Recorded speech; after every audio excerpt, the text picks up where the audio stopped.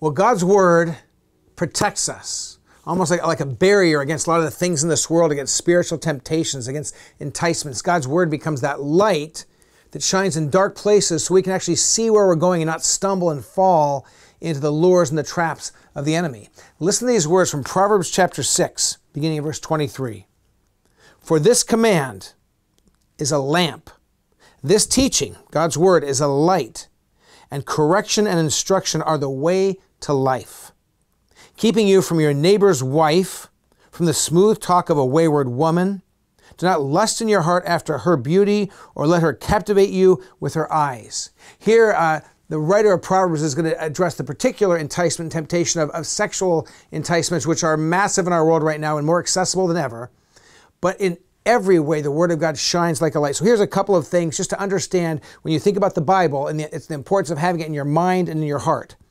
First, that God's Word illuminates dark places. There's lots of darkness in this world. If you want to see where you're going with clarity, get the Word of God in your mind and in your heart.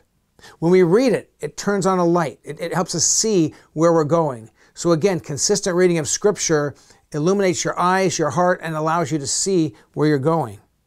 It helps you find correction. If you're humble to listen and learn, if we'll pay attention to God's Word, it'll correct us and set us on the, on the right path.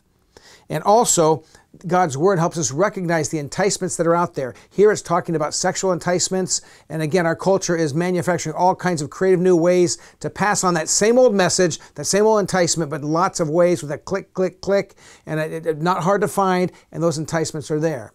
And so here's the imagery I want you to have in your mind today as you think about God's word. Uh, when I go to bed at night, oftentimes if I'm going to read in bed, my wife is sleeping already. And if I'm going to lay in bed with her, I wear this little headlamp. And this little headlamp, and I'm not going to blind myself with it, but it shines a bright light. And, uh, and when I do that, I can aim it right where I'm looking, and in the darkness, all of a sudden, I can see what I'm looking for. That's what God wants for you. Here's my encouragement today open the Bible, God's Word. Read it each and every day. It's even okay to read the Bible more than once a day. Keep putting it in your mind, keep filling your heart, and let it illuminate your path so you can walk where God calls you to walk.